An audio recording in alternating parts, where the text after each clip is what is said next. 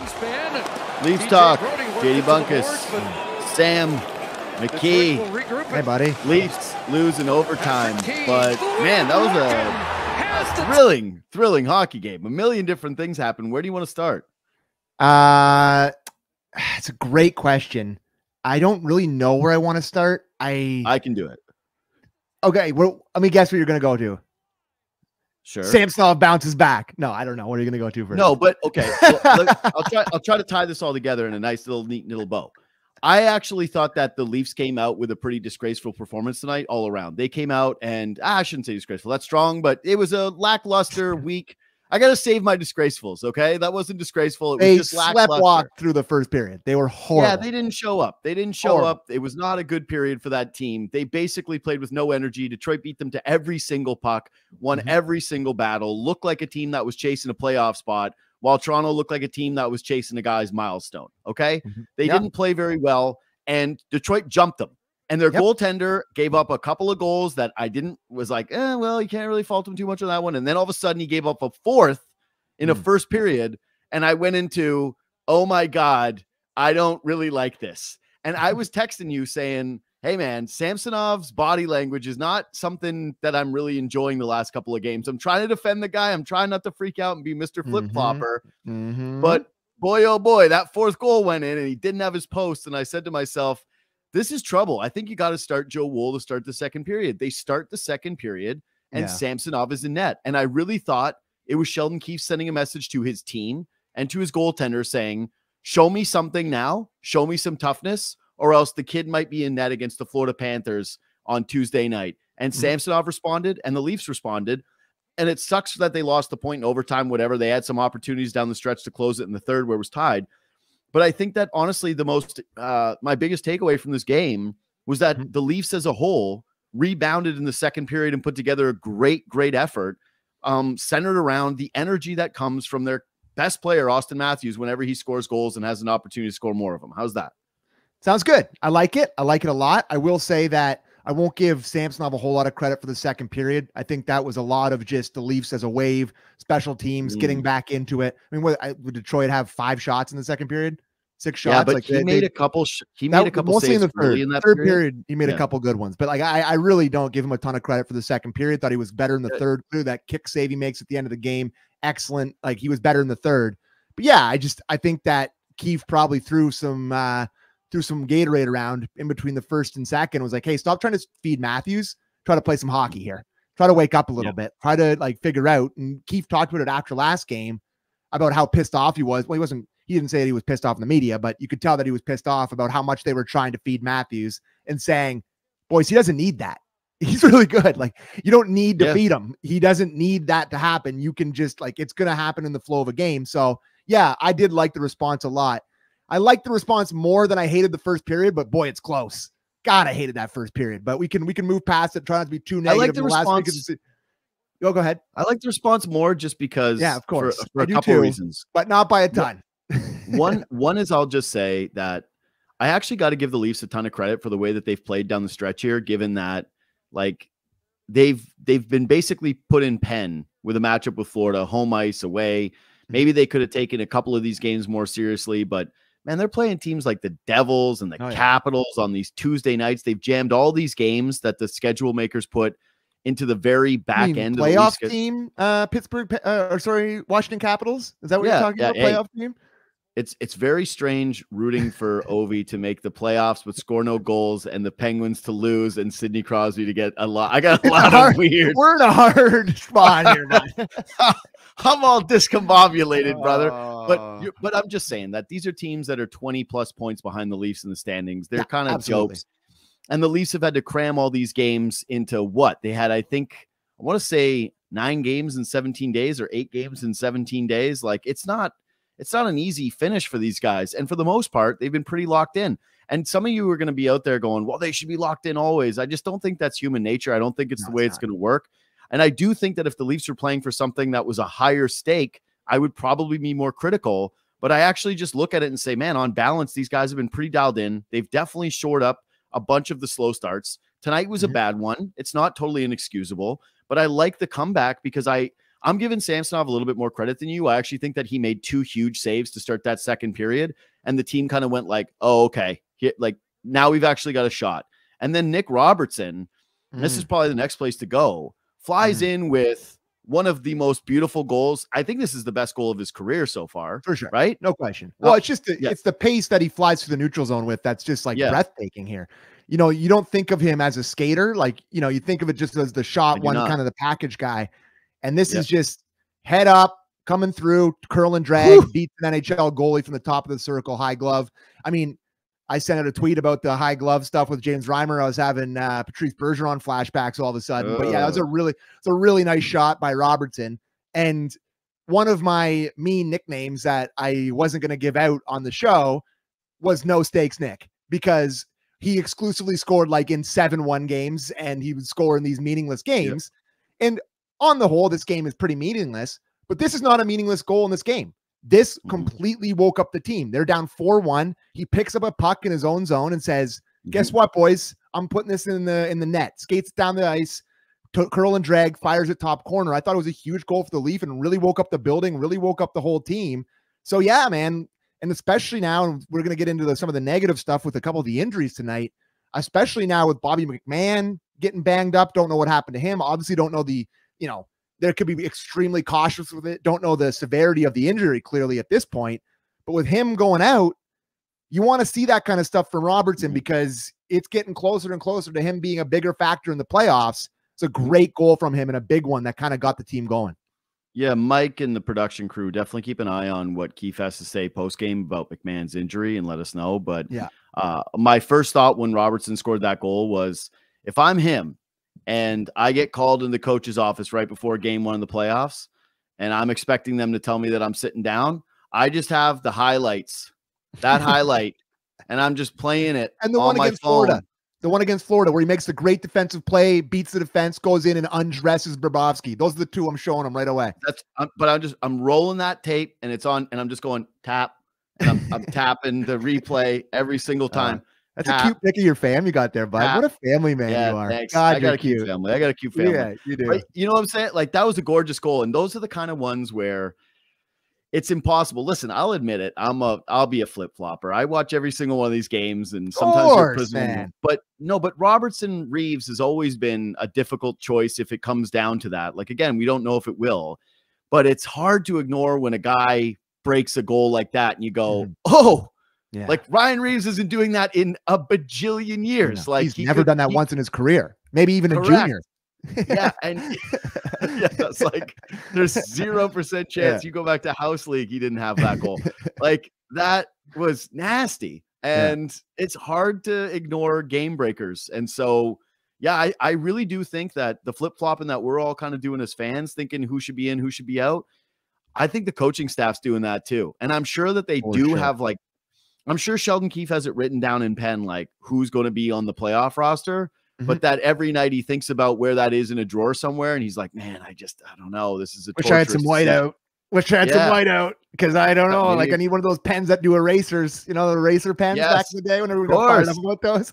Uh, of course, buddy. But I still want Reaves in Game One against Florida, but if that's who it's going to yeah. be, and it's not set in stone clearly with the Bruins, who are they're going back and forth with. But I think the Bruins have a game in hand on, on them, and they're they're up on mm-hmm. Pittsburgh mm-hmm. right now, I think, as as uh, as we're recording this. So I don't want to get too ahead of myself.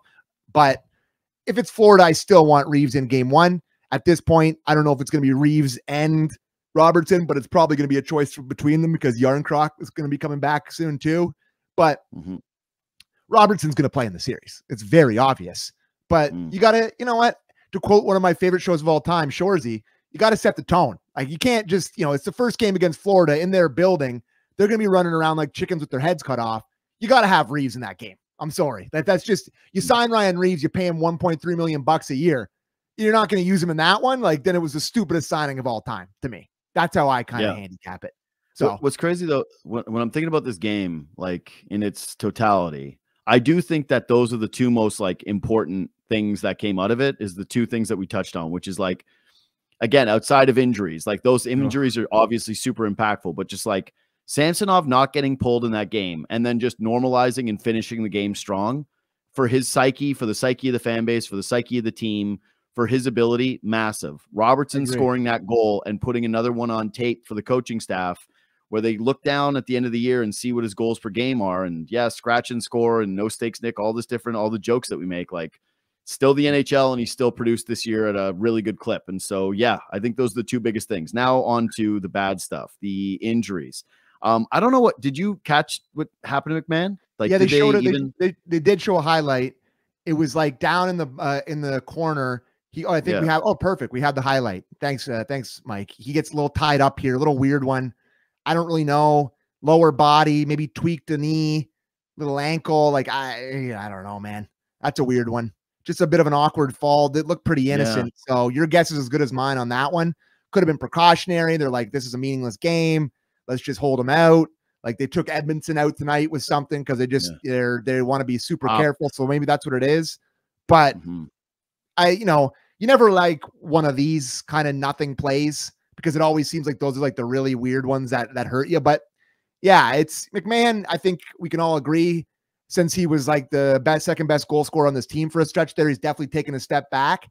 But he's clearly still a very important guy for this team in terms of being able to go up and down the lineup. Big guy, flies, can score you a goal, kills penalties. Like he's still a very important guy to this team. So it'd be a big loss. But I'm much more concerned about Jake McCabe, bud. Jake Yeah, McCabe. Jake McCabe is heart and soul, like warrior. You know, we talk about meaningless games. This guy's blocking a shot with his orbital bone in a meaningless game. Like it's it's it's heart and soul stuff. But mm-hmm. God, I like he went off. That's as bad as you've seen a guy go off. Like, how does he look at it? Gets up from this, skates off. Like, that is tough, tough, tough, tough guy. But yeah, you got to worry about the long term here, man. Because if that's, yeah, I don't know, those face bones, they're out for a long time, swelling, concussion, all that stuff. It's a Mhm. concerning one because he is I mean, huge for them. Huge. he's gonna be he's gonna be wearing a cage when he comes back. That's pretty Yeah, clear. which Uh, sucks like, for those guys. Those guys hate wearing cages. Yeah, no, he'll, he he's not he's gonna be wearing some kind of face protection because there's no way you eat that kind of a puck off the face. I gotta tell you, like it almost looks like he knows he's gonna wear that off the face when he blocks that Yeah. shot. Like that is a warrior block. Dude. Like I I, I watch You that the most. dude. I I he's a psychopath. he is That guy, totally. like the way he lines people up, the way sometimes he sees red, like you and I Mm-hmm. talk about it at times where he goes full nutso, right? Mhm. Like sometimes things happen in a game and you go, oh, you've just lost him for the next like three minutes. He's not going to give you a normal shift because now he's going to chase guys around or Yeah, he's, going to be looking. he's number one all wires cross team in the league, first team. Yes. no question. Starting lefty on all all uh, wires cross team, no question. And this is the thing that's kind of like heartbreaking about that play is I saw that and I just went, I love you, man. Yeah, you same. are you are incredible that you would do that. Are you you- like that is how many guys in the NHL are blocking that shot that way and just fearlessly? And again, it's it's a Detroit Red Wings game Mhm. where okay, you're kind of back in it, but this isn't the do or die game. No. This is one where you've got to just stay healthy and he still sacrifices the body. So there is a small part of me that looks at it and goes, "Man, I wish that he would be a little bit more cautious in a spot like this." But then it, I just tell myself that's not who he is. Clearly, he's Mhm. someone who's going to sacrifice for his teammates. He's going to sacrifice the body. He's going to play with that lunatic mentality that he brings to the team. And frankly, they need it come playoff time. So he's got to be healthy. You Mhm. hope that he's all right, more so Yeah. than anything. Um, I'm going to remain optimistic until they tell me that he is out for a while. But yeah, Yeah. when he's obviously skating off and he's leaking that much, Yeah. uh, and the the puck hits where it hits, it's hard not to envision a scenario where he's out for quite some time. Well, I mean, he played half the season with his nose like hanging off. So Yeah, I'm sure I'm sure he will do every possible And guess thing what? to be playing. didn't change a thing about his game when a- his nose was wear, hanging off. he didn't wear a, a, a cage, and he got hit like six times. It was like meat by the end of the the time. Yeah, so didn't care, kept going, kept going. Him, him, and like uh, McCabe, for our my. UFC fight fans out there today, Rory Oh. MacDonald, that nose, and Jake McCabe's nose. Those are the two that I'll remember forever. I understand UFC that reference. I You understand. do understand that reference? No, hell no. Oh, really? Oh, it's like No, one of the no, most famous fights in UFC history, and Uh, it was a Canadian. Anyways, uh, thoughts and prayers with that guy because yeah, hopefully he's all right. Um, what next? Oh yeah, I guess time for Matthews. Mhm. Yeah. Nice. We've entered the nightmare zone. Your nightmares. Not We've entered it, baby. We've entered it. Going into This is my dream. night- Tuesday night against the number one team that you're going to be playing in the playoffs, dirtiest team in the league, meaningless game, looking for blood, trying to stop him from scoring 70. I don't know. I just I don't think it's a great recipe. He's clearly playing both games until he gets 70, of course. Yeah. But I just I'm gonna be watching like this. That's it. Hey, how I many to games has. Matthews played against the Florida Panthers where he's gotten hurt? I don't know, but they they, None- they weren't sure since 70 and they weren't about to play him on Saturday night for a for a in a playoff None. series. Listen, The answer is none. Uh, I'm some allowed to- people choose. I'm allowed to be afraid, bud. I'm allowed to be afraid. And no one I'm said you're not really- allowed to be afraid. I'm really excited for him to get it, and I want him to get it. But boy, I'm Yeah. going to be petrified watching those games. Petrified. I get it. Some Yeah. people live in fear, and some people I am one of those. I'm a Toronto sports fan. life Come on. they embrace it, and they just charge forward with optimism, a smile on their face, and Oh, joy that's in their you. heart. Mr. And- Optimistic, JD Bunkis. They'll put that on your tombstone there, Squidsy. Give me a break. Yeah. Here died the most optimistic guy. Yeah, right, right. right. Uh, I just, I got, I got to tell you, I'm just choosing not to live in that reality. Like if it happens, right. it happens. I just, I, I mean this, dude. You know me. You've known me a long time. I don't fear the Matthews injury. I'm not trying to call it out into existence. Move. I actually think the people who are like fretting it are the ones that are doing it the most. I just like, I think the guy scoring 70 goals means a lot. It means a thing. To Does. see something that hasn't happened since the 90s. Like we've debated it over and over again, but I'm just Yeah. saying that he was always going to play in the Florida game. There was no scenario where he was going to sit the last two games of the season anyway. And think? so, you don't think he gets No, it tonight? He hell sits a week? no, no way. Why would they sit him?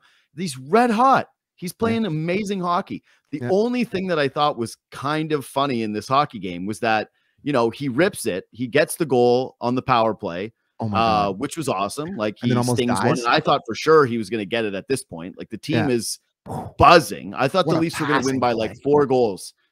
Like you freeze frame, you you go look, live look into my living room in this moment, and I'm going. Leafs are winning tonight, probably seven or eight to four. Yeah. Like this is going to be a bloodbath for these guys. And then lucky for the Red Wings that the whistle blew to start the, you know, or end the second period because it was just like a huge wave of momentum. Hmm. But when he almost scored, the play right after, he jumps back out on the ice, he rips down there, and he almost tucks one between Reimer's legs and then goes into the boards as hard as I've seen him go into the boards since Nick Kronwall stapled him also in a Detroit game Oh, like four years God. ago. Uh I thought there's no way he's going to score 70. That puck's going to be in the net and he's going to be hurt. And Out for the this- year. Yeah. Leaf fans, you got what you wanted, Leaf fans. See? See, you shouldn't have played. If that had happened, I would have been the most insufferable guy in the history of Leafs talk. See, you got what you have. You want it. You got it. we could honestly, I really do think if that happened, it would irreparably damage our friendship. Like we really can't have this happen. We cannot have Austin Matthews get hurt for the sake of a great friendship. Like it He just cannot happen. rocked. Yeah. So He- I thought he was dead. Like when he first moved, because he stares at it and he Yeah. does the classic thing after you have a big fall, which is to like immediately be like, I'm totally fine. But then you Mm. try to make that second move and then your body's falling apart. Like Yeah. you're like, oh no, this is actually really bad. And he kind of made that second movement and it was ugly. And I was, oh no, please, oh no, oh no. Hey, he's a big, durable boy. I'll tell you what, he's in the prime of his life. If I Yeah. fell into the boards like that, I ain't showing up for work on Monday. So uh there's a big durable boy, good play. Uh I'll tell you though, there's no debate about the next two games. Like there's people like there's just he does not rest. Like I don't know why No. we're gonna have this debate. Like people will probably say, like, you know, I know Kipper's take on Monday, he'll be that ah, that team success is more important. Like I know what he's gonna say Blah, blah, blah, blah. but I know what he's gonna say. But he's just gonna play. He's gonna play. I'll talk to me if he scores against Florida, gets 70. Maybe he sits a Wednesday against Tampa. Fine. We can have that Sure. conversation. No problem. But there's just no way that, you know, if he's I- I- looking like for, I said, if he's looking for 70 on Wednesday, he's playing. I I I told you first of all, in terms of injuries, the other day I said to you, it rained Mm-hmm. and my knee hurt. I just was walking down the stairs. I was like, my knee is killing me from rain. so yeah, built a little different than Austin Matthews. Two is I I will stay I will die on this hill. He was never coming out for the Florida game anyways. And Okay. two is that man, individual success can be team success. Like these two things don't have to be like pulled apart. Look how well the Leafs played right after Matthews scored that goal. Look how you all felt watching that hockey game after he scored that goal. Like Mhm. they were buzzing. The team is at its very best when Austin Matthews is ripping goals. And that mm-hmm. is still the formula for the postseason as well is get on his back and ride the energy and the momentum of the best goal scorer on the planet scoring big goals. And Yeah. so, yes, do I think that there could be a conversation for the final game of the year against Tampa on a back to back if he's sitting at 69? Yeah. I do. I really think that he might go to the coaching staff. They'll have a chat with him, and maybe he'll think that the best thing for the entire team is if he sits that hockey game. If he Yeah. plays it, I won't fault him. I won't live in fear. But I don't think the Mm. Florida game was ever in question. And hopefully he can just remove that equation by scoring that final goal against the Florida Panthers uh, on Uh, what is it, Tuesday? Yeah. Before we move on Yeah. to the next thing I wanted to talk about, just on the Matthews Yeah. thing, just got to Yeah. give a quick shout out to uh, my boy Sean Kent. Him and the boys down there for a bachelor party, going to both Florida games for the bachelor party. Got a chance to see 70. Couldn't have worked out better for him. So congrats to those fellas. Quick shout out to them. Yeah, that is, Unbelievable luck. that is fortunate. Can That you imagine the, the luck? They're watching that game tonight, being like, please don't score, please don't score, please don't Yeah. score. So good for them. Love it. They'll have a good old time Yeah. down there. Yeah, you're a bad friend hoping that Matthew's going to sit two games at your buddy's bachelor party is the bigger thing that I take away from this. You know, like, that's okay. Uh, my last thing from this game uh, is just that I think 16 and 91 are really starting to click a little bit together. They had some real moments in this game, and when they throw 88 on that line, it Mhm. looks awesome. And Mhm. you re- like from a top six standpoint, that's the best I've ever felt about what the Leafs can put together. Is Absolutely. what they've got going right now. Absolutely. I the thing I wanted to bring up, I'm glad you did it. Uh Marner, since he's come back, has had a point in every game. Thought he's been Yep. strong. Thought the first couple games maybe looked a little bit tentative, but he's all the way back now. He's back Mhm. to just him himself flying around there. Uh yeah, like I do like that line together, and you're just losing Willie so hard on that third line. Like the one goal tonight, he's just completely checked out. Him and Lyubushkin are skating around in circles. Like he's obviously just not. He's you're losing him down there. And to be honest, if I'm Willie Nylander and I had a thought in my head other than like scoring goals and being good at hockey, I'd be kind of a little bit pissed at Sheldon Keefe that I'm going towards 100 goals and you th- 100 points and you throw me down on the fourth on the third line. That thought would probably cross cross my mind, but Mm. I just I like that they have this option, but I did love the thought of having Willie Nylander attacking other teams' third lines in the Yeah. playoffs and having that mix. But it just feels like you know how Keefe coaches in the playoffs, especially like the you know the this is the that, that was easy button or whatever. As soon as one thing goes wrong, it's like bang, load it up, baby, hit the loaded up button. So just the fact that he has this loaded up option, eh, he's going to be going to it a lot. He's going to be going to it a hell of a lot, and it's gonna it's going to be a conversation for sure. That's fine. it It's a that good way, line. I- It's a good I- line. that's what I'm saying. But I don't even view it that way as like uh, when things are going bad line. I think it's actually this is part of the plan. Like have Nylander down on the third line, try Mm-hmm. and take advantage of some matchups. I think part of the reason he's checked out is that, or eh, checked out, I don't know, the way that he's looked, the way that he's looked. You're right. There's been some moments of being lost. He's also on a, a terrible defensive line when he's down there. Yeah. So when he's on, in his own end and he's not just fully engaged, uh, you go, yeah, it doesn't look great. But I, I Mm-hmm. think it's hard for people to go, oh, we don't want Matthews to be playing this game. We don't want Matthews to be doing this. But then they also want Nylander to just be giving it 110%. I actually like Nylander lately. He he's been talking to the media about how he knows that the time that matters is coming up. He still did get a point tonight. He still did finish with 22 minutes tonight. Like he's playing him, man.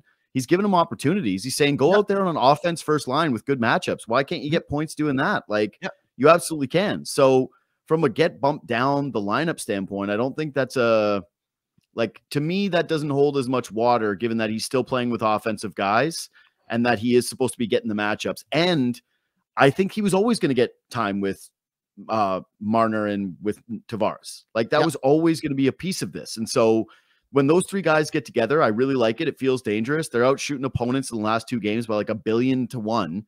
And yeah, I just I, I kind of like what they've unlocked here. I just hope that the Leafs get healthy because again, it's like Edmundson and McMann and McMann yeah. now, and you know uh, McCabe with something to his face, and we still don't really fully know what's up with Jarnkrok. And yeah, it's just they're I'm, they're kind of getting a, a few tough injuries at the wrong time. Edmundson's a band aid a bit, eh? He's uh that's he's had that that rap over his career that he's been hurt a lot, and it's like already been two things. It's two separate things, and mm. you know a month since being here. So yeah, that's something to keep an eye on heading into the playoffs. There probably things he'd play through in the playoffs. I think he even said that after the last game that if it was playoffs, he probably would have played. So he's a guy that'll play through stuff. So that's fine. But uh just wanted to give a shout out to the crowd tonight. I thought mm. hyper aware, hyper into it, even after they went down 4 1. Big pops for the goals. That Matthews pop was massive. And when he came yeah. on at the ice at the end, everybody getting fired up, starting to cheer, starting to chant. Saturday night crowds at Scotiabank Arena, they get a little greased up against a rival. You know, lots of red in the building. It's it's great. So uh okay, so a couple uh, updates here from our good our good friend Mike Jose. McMann determining severity from Keefe. McCabe is fine, couldn't come back from swelling. From, uh, yeah. those are from Keefe. That so that's sense. Good. You were you were going to know from that one, but yeah, determining severity on McC- McMann is less than I were not bad, but also worse than I would want to hear. I want to be like, yeah, pretty much a nothing is what I wanted. So not broken orbital bone is what it kind of looked like when he first got hit in the face. So that's good. Good stuff. Just swelling. Just uh, to, just going to have a mutilated face. Good for you. Yeah.